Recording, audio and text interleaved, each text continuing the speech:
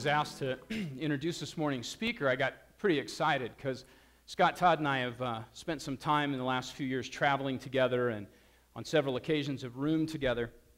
So I asked Mary Lou if she would send uh, Scott's bio to me so that I could do a proper introduction. And when she sent it to me, I read this Scott Todd received his PhD in immunology from the University of California in 1996.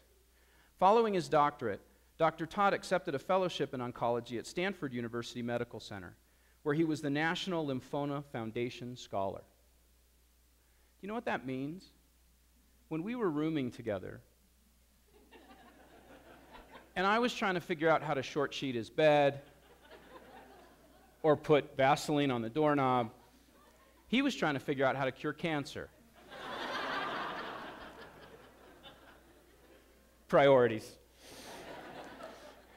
What you may not know about, about Scott is that he actually uh, is an inventor of a U.S. patent for hepatitis C. And I'm not sure if that means every time somebody gets hepatitis C, they got to send Scott a quarter.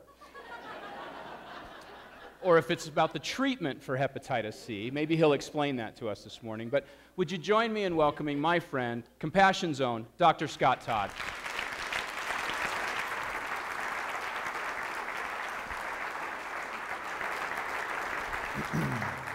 Good morning, everybody. It is great to be with you this morning. And uh, when I learned that Jim, Jim was going to be introducing me, I have to say I did get a little bit nervous. Wasn't real sure how that was going to go. I still haven't got his quarter yet, though.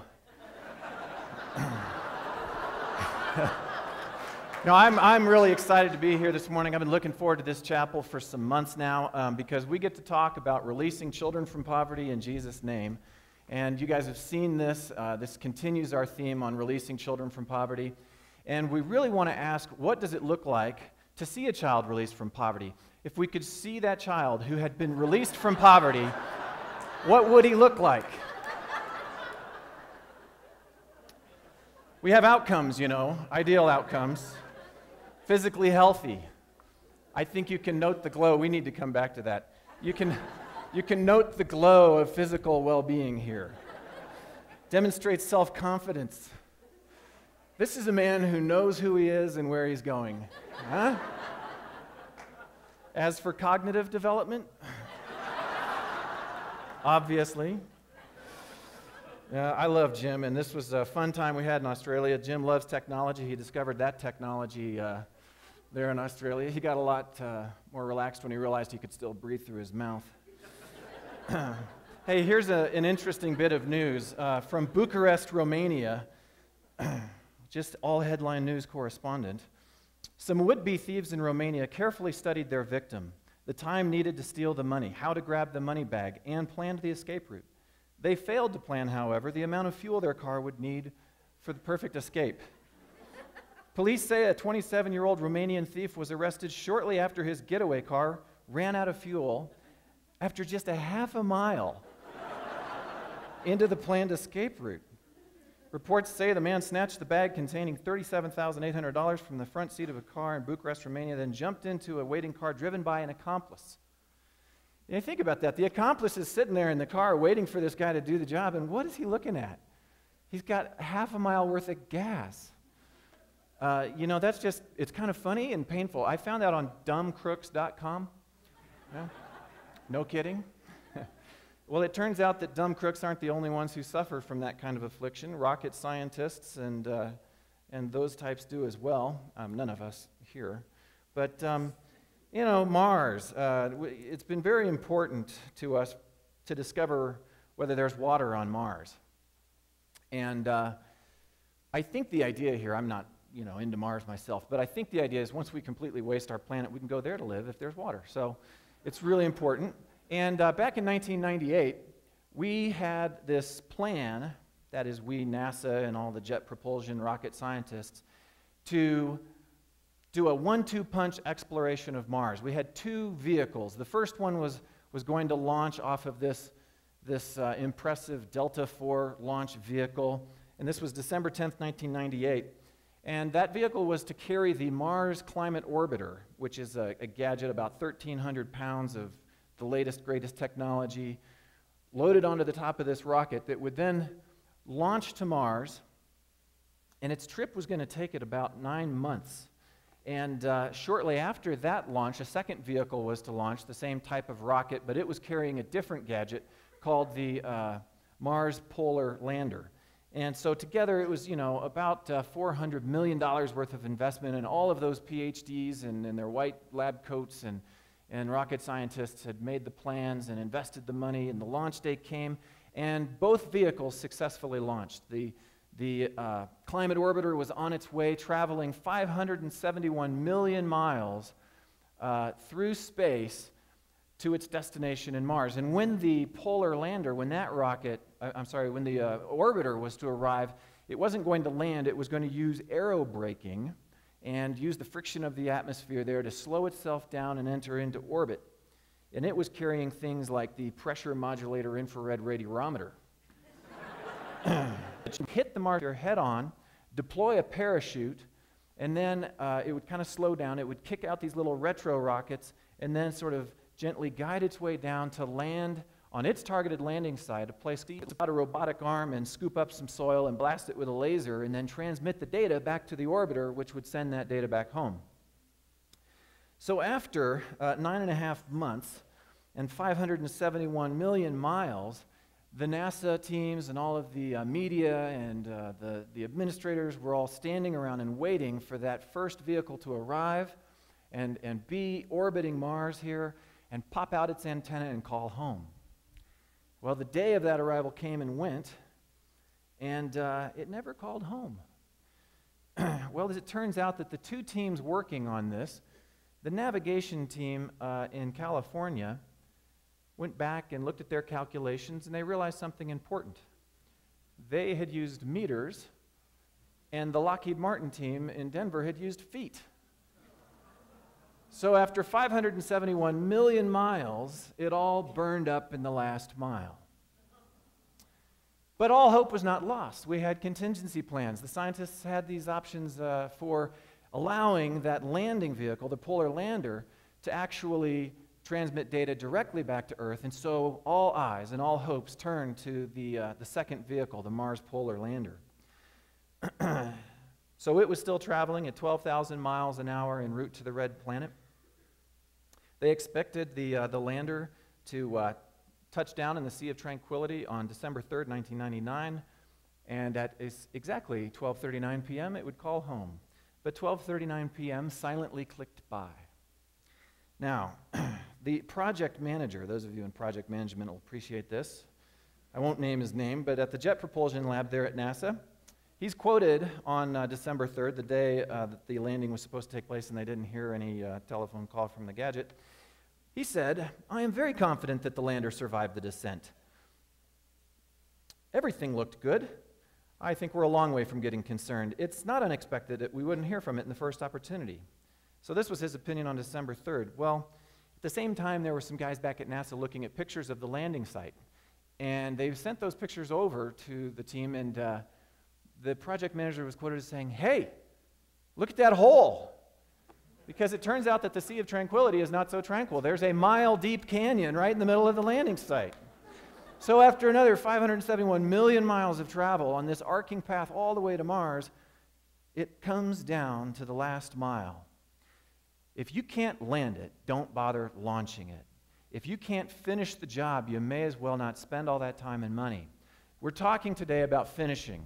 And this is really all about CIV because CIV is about completing Compassion's core programs. CIV is not a core program, but it exists to support the outcomes for child survival and for child sponsorship and for leadership development.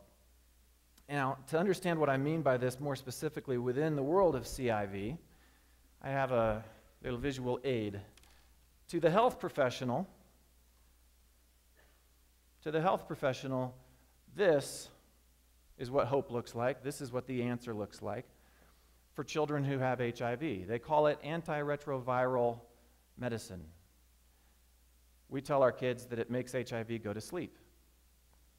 And this little pill, for its development, had a decade of research in the United States and in Europe, lots of money, lots of labs to produce this. And then from its point of manufacture in South Africa or India, it may have traveled by train, by ship, by plane, by, by all kinds of transportation, maybe finally on the back of a bicycle, bouncing down the dusty, rutted road to a remote clinic. And in that remote clinic, it sits in a jar on a shelf, and I'll just use this as my shelf over here. That's the journey. You might say that that pill has traveled a long way. It's had a long, hard road. It's traveled 10,000 miles. And now that is celebrated by the international uh, communities that work on uh, treating AIDS as success because that jar is called access. But that jar, uh, in, the, in the pill that the little, the journey that the little pill had, is nothing compared to the journey of a little girl that I was privileged to meet a few years ago named Caroline. Caroline was born in the 8 by 10 foot dwelling that she lived in in uh, her slum. Uh, her mother went into labor in the middle of the night, and in her slum, it was not safe and just not possible for her to make the, uh, the walk to the clinic, which was a long way. And so Caroline was born uh, there in her slum, and her mother did not realize that she was infected with HIV. And her mother didn't realize that there were fairly simple things that could be done to greatly reduce the chance of her baby becoming infected with HIV. And even if she had known, even if she'd known her status, even if she'd known that there were things to prevent the transmission of HIV, she wouldn't have believed them possible. Because those kinds of things aren't for her. That's holding out hope, and hope cannot be so recklessly spent when there's so little of it in the heart. So Caroline grew up knowing her mom as, as we all, many of us knew our moms as a provider, as a nurturer, as one who cared for her and loved her. But Caroline will never forget the day that her mom began to fall sick. First, she started coughing, and then uh, the coughing became just constant. She started losing weight. She was tired all the time. She began to get scabs and sores on her skin. And so, this woman who once cared for Caroline now was withered and frail, and Caroline uh, was in that situation where she became the one who was caring for her mom, cleaning up after her mom when she had no control of her bowels. Things that no little girl should ever have to go through. And during that time, the other kids in her community stopped playing with Caroline. One little boy even yelled at her, You got AIDS! Go away! And that echoed in, in Caroline's head. And then she had to witness that night when that weak, familiar coughing just stopped. And she woke up, and no matter how she pleaded with her mom, her mom was not coming back. And so she sat there, as alone as any person could possibly be. Now, the next morning came, and uh, Caroline's grandmother took Caroline and so Caroline moved in with her grandmother in the same slum. And two years went by for that little girl, who usually played alone, until she herself began to fall sick. And the, the taunting accusation of that boy echoed in her head You got AIDS! And she didn't want to believe it because she knew that that's a death sentence. She once got the courage to ask her grandmother, Why did mommy die? And her her grandmother quickly said it was TB, tuberculosis, and then walked away. Her grandmother had seen too much of this way of death to believe that any other outcome was possible. And in, in, in, in living a world shaped uh, by that hardship, had assumed the same thing would be true for Caroline. You see, that jar may have traveled 10,000 miles, but it needed to travel 10,001. And that last mile, the mile into the broken heart of a nine year old girl living in a slum who's lost her parents, is a long, hard mile. And we have to ask what does it take to care for little girls like Caroline? What does it take to go the distance for them? What is it going to take to walk the last mile? Where do you find the people who have the compassion in their hearts? Where do you find the people who have the courage and the strength to carry joy into dark places like that? And who have the sensitivity to enter into the broken world of that little nine year old girl. Where do you find those people? Because that's a mile that our weathered healthcare heroes cannot afford to walk. They've stayed at the post in those clinics, but they simply don't have the capacity to go out into the alleys and into the slums and, and visit with little girls like Caroline and her grandmother. Where do you find those people? They're already gathered. They gather in those little slum rooms, they gather in the city centers, and they gather even in the forests, and they gather to sing praise to Jesus Christ. And they gather to pray for each other and to pray for their hurting world. They are God's people, they are His church.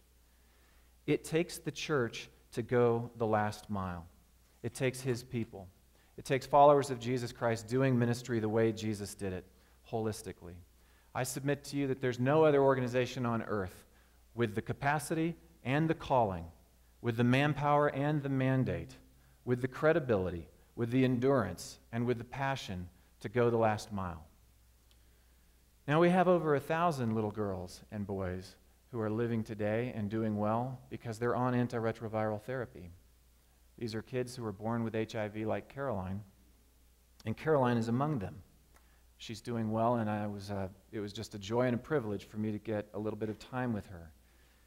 And that's a remarkable thing to be able to say today because we couldn't have said that not long ago because it hasn't always been this way. Some of you may remember the early years of the AIDS initiative, not so long ago, really. You might remember a little girl named Jacqueline. I shared her story last time I spoke. Jacqueline's a little girl who had HIV, and in those early years, we were really struggling in Tanzania to get that therapy available to kids. And uh, Jacqueline was one of the first on the therapy, but we were too late, and she passed away.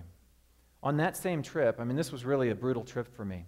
I, I first went into Kenya. This was February of 2005, and I uh, met with some of our kids who were um, suffering from some, some situations there in Kenya. A, a kid named uh, Eric who had leukemia, and I'd seen quite a bit of that. Another kid named Edgar who had a different form of cancer. And there was a little boy named Jack Tone uh, who had a kidney problem, and he was on dialysis. And after that, I went down to Tanzania and I met Jacqueline. Well, it was that same time that I met this little boy whose name is Isaac. And now, it just seemed to me that every night I'd come home and I would cry. And I would pray to God to give me strength just to carry me through another day because the things that were happening on that trip were day after day getting harder and harder. And then the day after I met Jacqueline, I met Isaac. Now, Isaac, his story is very similar to Caroline's. He, uh, you know, born in a slum, never knew his father, witnessed the death of his mother, and his mother died of AIDS. And when I asked him, uh, How are you doing in school? He said, um, Well, I don't go to school. I said, Really? Why not? He said, I'm already smart. yeah. I have four boys at home. I know where he's at. so, uh, he is just a smart little guy, you know, um, a neat little guy. Uh, but he was, uh, he was nine years old at the time that I visited him. And just shortly before my visit, some neighbors had caught uh, some other neighbors in the act of sexually abusing Isaac. And that that had been going on over a period of time. You see, when, when his mom died, he had no one left to care for him. He was in an extremely vulnerable situation. Now, he had an uncle and the uncle said, Will you come live with me? But the uncle was an alcoholic. And so the uncle was basically never around.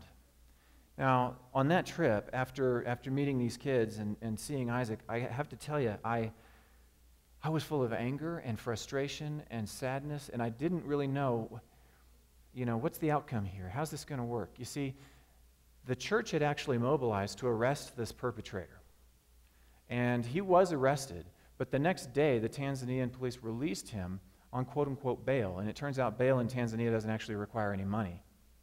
So that when I was there, this predator is still loose in the slum. And I can only imagine that he was probably filled with a lot of anger, and I could only imagine where that anger would land. So I returned home to Colorado, and even during my return and shortly after I, I got back, Jacqueline had passed away. Edgar died, Eric died, Jack Tone died. And Isaac was still alive, but he was in such a vulnerable situation that I have to tell you, I prayed for him, but I don't think I had very much faith. A lot has changed since then. A lot has changed. I've already told you that we have a thousand kids in the AIDS Initiative. Because of the AIDS Initiative, which is a CIV, we have children who are alive today and doing well. I'd like to tell you about some more progress in our medical fund. Uh, another story about a girl named Babirye. Uh, Babirye is an eight year old girl, and she's from Uganda. She has a twin sister. Um, but Babirye has always been weak uh, and small for her age. And she suffered constant chest pain and shortness of breath, and uh, she hasn't been able to play with the other kids. And uh, she's, in, in the report that I read, she um, is described as not being a favorite at home. Her healthy twin sister is the preferred child. But what her family and the other kids, and even Babirye, didn't know is that Babirye was born with a hole in her heart, a literal hole in her heart. And uh, that's something that I've actually seen quite a bit of when I was in graduate school. Work in collections, holes between the different chambers of the heart. And so, um, not, a, not, a, not an unusual situation that she would be born that way, but to have lived that with a hole in your heart, you will not live. You go through the growth period, and then uh, that'll be it. So, that hole was detected during one of Compassion's routine medical screenings. You know that kids receive, before the age of 12, they receive twice a year medical checkups, and after the age of 12, once per year, like a physical exam. And so, uh, because a qualified person was doing this exam for Babirye, they discovered this, and they referred her to specialists. And the specialist said, She needs open heart surgery. And we don't have that surgery in Uganda. We can't do that in Uganda. So, what did we do? We did what compassion does. We went the last mile. We took Babirye to India, where there is the Madras Medical Mission, and they specialize in open heart surgery. So we flew her all the way there, and she underwent open heart surgery, and it went well, and she recovered there, and she's now returned to Uganda. And I'd like to read the quote uh, as she's recovering now. This, this all happened just a few months ago. The quote uh, on her update says she is doing well. She's able to run and play netball without fainting. She attends school regularly, and she's gained weight from 19 to 22 kilograms. Because of the surgery, hope was restored in the family. Love and care are now given equally to the two twins. This is what it takes to go the distance for Babirye. This is what it takes to treat Babirye as if she was our own daughter, as if she was your own daughter. This is the medical fund. This is CIV. But Babirye's story is not unique. I wish I could tell you about Aganyira, a 13 year old girl, also from Uganda, has a similar defect in her heart, a structural malformation, needed open heart surgery. She was also flown to India for open heart surgery, did well, is recovering in Uganda. I'd like to tell you about Sarugo, a little boy same type of condition, this one probably caused or made worse by uh, an untreated infection. Underwent open heart surgery, returned to Uganda, is doing well. I'd like to tell you about Kembabazi, an eight year old girl that needed heart surgery, and about Mudondo, who's the same story. These are five kids, all from Uganda, and all just in the past few months, for about $60,000, thrown, uh, uh, flown to India, underwent surgery, successfully recovered, are now doing well back home. That's five out of 25 kids that have undergone open heart surgery just from Uganda alone. I'm telling you about going the last mile again. I'm talking about Uganda, Compassion Uganda, going the distance for these kids. It didn't matter that they looked at the fact that Uganda doesn't offer that surgery and said, oh, well, that's the culture. No, that's the culture of poverty, and it's not acceptable. And these kids for about $10,000 each, they could live a complete, full, healthy life. That's what it takes to go the distance. Now, uh, just a few uh, months ago, I was in Tanzania again. And um, another area of CIV that I'd like to tell you about is one we used to call orphans and vulnerable children. Now it's called highly vulnerable children, HVC. And um, we've actually started a number of homes called Compassion Cottages in which kids who are at extreme risk get brought together and a, re- a family is rebuilt. A mom, a loving uh, caregiver, steps in and says, Yes, I'll raise these kids as if they're my own, and they become her own. You ask one of these kids, Who's that woman? They'll say, They'll look at you funny and they'll say, That's mom. what are you, crazy? And these are my brothers and sisters. So we have been working for the past few years to rebuild families for the kids at greatest risk. And I was visiting one of those homes and I had a chance to visit with one of those moms and was asking about what's working and what's not and what's hard. And man, it's hard. These women who take this responsibility, they're taking kids who've come from very difficult backgrounds. And so pray for these moms. Uh, they are amazing people, and we were really our privilege to serve them. Well, after learning from one of them, I popped around the corner and was ready to head out when, uh, you know, there's 250,000 kids in Africa, you really don't expect to run across the same one time. And, and uh, this is Isaac. Isaac had been selected. And I couldn't believe it. I, I told myself I wouldn't lose control now, but I lost control then, and it's not real good because it's kind of scary when a white man comes up and starts bawling in front of you. but there he was this kid that I'd given up, given up hope for, and I shouldn't have, but uh, we went the last mile for Isaac, and it was the Highly Vulnerable Children Program. And uh, I said, Isaac, I've come a very long way to get my picture taken with the smartest kid in the school. So I got this picture, and then I said, How are you doing in school? He's third in his class. His mom describes him as a charming kid. Now, briefly, I just need to say that I wish I had time to tell you. I mean, this is just an impossible chapel to talk about CIV because it's so massive. I wish I had time to tell you about Bibles in Thailand, about computer labs in Rwanda, about income generation in Uganda. This woman was given a $50 grant, a tiny amount of money. She was able to purchase these uh, different products and sell them in the market, and she'd been running that business for several months successfully and sustainably. Wish I could tell you about immunization programs in Indonesia, like this one. The children are so grateful for CIV. I wish I could tell you about latrines in Indonesia. I personally inspected this one. I wish I could tell you about malaria in Kenya. I have a slide here that's a data slide. I like data, I'm sorry, it's the kind of guy I am, but this is what I get excited about because this shows you that the end of fiscal year 04, we were surveying, uh, you know, when, when, we are treating kids, kids who fall sick are referred to clinics and we pay the bills and we track why are they falling sick and we want to learn from that so we can improve our programs. And in the end of fiscal year 04, 80% of the reasons for children visiting a clinic, of the causes for that, were due to malaria in Kenya. Now, by the end of FY05, that was 50%. End of FY06, that was 21%. And as of the end of FY07, we were below 20% on the incidence rate of malaria. This is among our kids. This isn't general data for the country. This is Compassion's kids in Kenya. During that same period of time, we've distributed almost 200,000 insecticide treated nets to stop mosquitoes from stealing the lives of our children. That is CIV, and that is also going the distance. It's not enough to distribute an insecticide treated net and just drop the package off at the church. It takes going on home visits and helping them know how do you install it. It takes encouragement. It's a new thing.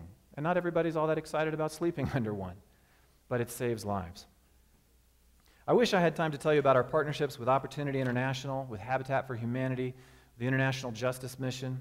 I'll briefly show you the financial scope on the next slide. What this shows you is the number of grants that have gone to the field almost $18 million through February of this current fiscal year have gone to the field. That's just the grants side of that. Now, a little over a quarter of that is what we call program enhancement. We're talking about curriculum, income generation, large scale water projects, infrastructure development, disaster response, developing our church partners, orphans and vulnerable children or highly vulnerable children, uh, non formal education, medical assistance, malaria, AIDS. This is amazing. This is a massive amount of work, from boreholes to Bibles, from immunizations to income generation. It's, it's an amazing amount of work that's going on here. And in the next slide, what if, if we were to annualize that and project over the next few months what this would look like, and I'm not saying that's appropriate because probably more of the money's already gone out. Annualized, that projection is $26 million for FY08. And if you add to that the administrative costs, the fundraising costs, the program delivery costs, really, the real cost to our organization of delivering CIV, This current fiscal year looks like around $35 million. It is a massive program. And what's really amazing is that so many people kind of, oh, yeah, well, we do some of that. This is big. So, on the next slide, I have our scripture for today. This is from 2 Corinthians 8, verse 11. Now finish the work. Finish the work that your eager willingness to do, so that your eager willingness to do it may be matched by your completion of it, according to your means. We have these outcomes. CIV exists to complete the mission, to complete the core programs. And as much as God gives us capacity to do so within our means, we're going to go the last mile for kids. Now, I was in a conversation the other day, and a, and a guy asked me a question. He said, Well, isn't it enough just to feed a kid? That's a very important question for us. Why is it so important to finish? Why is it so important to go the last mile? Let me ask you if you were raising up an army, would you give them guns but no bullets? Would you give them tanks but no gas? Will you give children literacy but not give them Jesus? That's like tanks with no gas. Because we are talking about raising up an army. We're talking about the fact that we've already enlisted over a million little partners in this advance for the king. We're talking about the vision that Compassion graduates will be Christians of influence within their communities. Why? Because this is transformational development. This is kingdom advancing work. We are building the children who will build the nations. They are salt and light now. Don't get me wrong. The million children that we're partnering with, and I like to look at it that way, are already salt and light in their communities, already advancing the kingdom, already doing amazing things. But they will grow to become adults who are also salt and light in their communities. They will build businesses that are trustworthy. They will become journalists who write with truth and with fairness. They will become the leaders they will displace the corrupt leaders. You want to know how to address corruption and injustice in the developing world? Raise a generation of men and women of integrity who have the heart of servant leadership. One day, we will see a compassion graduate be the president of his or her country. This is a lot more, amen. This is a lot more than just helping needy kids. Helping needy kids is good, but this is about giving a little girl who was born with a hole in her heart the chance of becoming president of Uganda. That is what it means to go the last mile. Now, as we finish today, I'd like to acknowledge and honor those among us who have really done the work. I'd, I'd like to first of all acknowledge David Fronterhouse. David Fronterhouse has done amazing work leading a CIV project team that has greatly improved and, and laid a foundation for CIV in the future. And the work's not done, we have more to do. I'd like to acknowledge uh, Laura Fisher and all of U.S. development because they are working to see, to witness miracles of fundraising. And the guys in finance, we've seen a lot of Martin Rediger and Dan Trumbull. They've been participating in all these different project meetings and really helping us understand CIV and improve the way that we relate CIV to the organization. And the MI2 team, you know, we have a CIV ministry cabinet for Allison and for Laura Fisher, Bob Thorpe, and Greg Keene. Uh, they have laid a foundation for CIV to achieve excellence well into the future, going the last mile for our kids. But in particular, this morning, I'd like to invite the CIV team from International Program to come up and join me. So, Greg Keene, Bob Thorpe, and Sharon LeMay, if you'd just come on up here. These guys, I, I, can't, I don't have time to tell you about how much endurance, how much perseverance it has taken for this team to go the last mile for kids over the past several years. And uh, come on out here, Sharon. I know this. You, you love being up here. I'm, I'm sure of that. And Bob. Um, these, these are heroes. And uh, they have been in the trenches for a long time. And so I have a gift for them. It's, uh, it's a thank you, and um, it's just a token. Uh, this, this gift is really about perseverance. So I step over here because I'm going to hand this to you.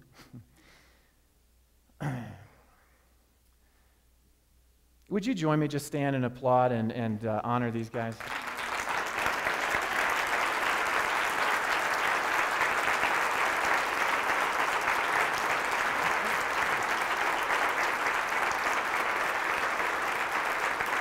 as you look out and see this room, you see about 500 faces. I mean, uh, 500 faces, that's, it's kind of terrifying, isn't it? Yeah. some, some faces are more terrifying than others, too.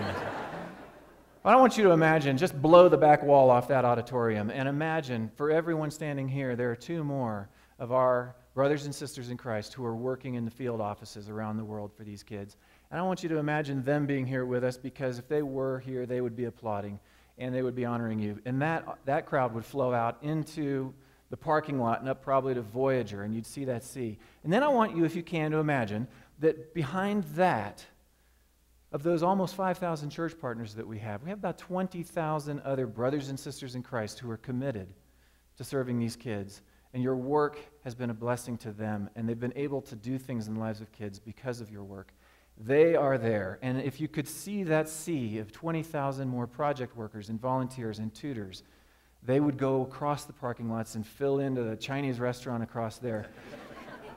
and if you could see it, if we had the million little partners with us today, they would fill the landscape to the horizon and beyond. And you would hear a million little voices saying, Thank you. And that's what's written on this. It says to Greg Keene, Bob Thorpe, Sharon LeMay, Heidi Partlow, a million little voices say thank you for your perseverance in CIV.